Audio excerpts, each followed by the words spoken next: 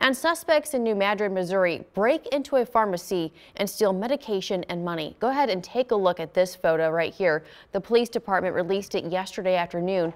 You can see just how the suspects cut a hole in the wall to get inside that pharmacy. Police believe they had accomplices acting as a lookout during that crime. They're following up on several leads. We'll update you on this story as new information becomes available.